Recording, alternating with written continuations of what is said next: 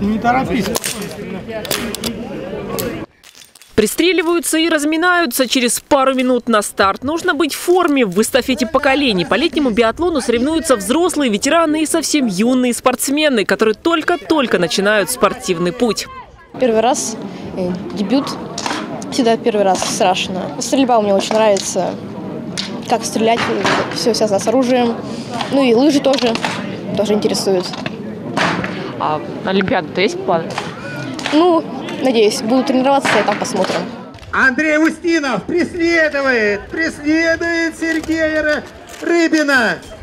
С 9 до 70 лет возраст участников. Малыши стреляют из пневматического оружия, взрослые из малокалиберных винтовок. В гонке на скорость и меткость участвуют и члены сборной страны по биатлону. Настоящие звезды Павел Волков, Екатерина Копырина и, конечно же, председатель Союза ветеранов биатлона Алтая по совместительству организатор стартов Сергей Локтев.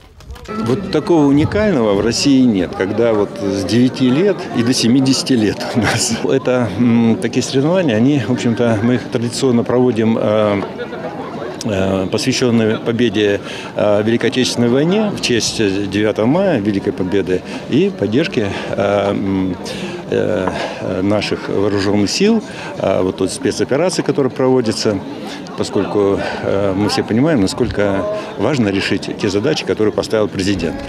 По итогам эстафеты золото взяла сборная Алтайского края, серебро Барнаула и Новосибирска, а бронзу – атлеты из Алтайского и Камчатского краев. Помимо кубков и медалей, пять самых перспективных биатлонистов получили стипендии. Около 50 тысяч рублей вручил каждому Александр Локтев. Стипендия выплачивается э, ну, самым топовым спортсменам, которые показали результат. Там они э, Союзом биатлонистов определяют данных спортсменов и вот по окончании сезона выплачивают. Ну, собственно, выплачивает э, Союз биатлонистов ветеранов Алтая совместно с Федерацией э, биатлона города и Алтайского края, ну и совместно с моим фондом социальных проектов. Семья Локтевых отмечает, что с каждым годом алтайский биатлон покоряет все больше вершин. Наши атлеты все чаще попадают в национальную сборную страны благодаря комфортным тренировочным процессам и хорошей поддержке на всех уровнях.